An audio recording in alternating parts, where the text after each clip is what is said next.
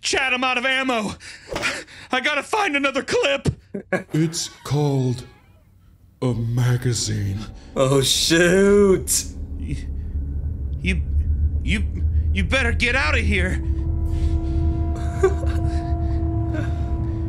Charlie, I'm actually a, a huge fan. I just, I watch your stuff all the time. So you gonna start peeing?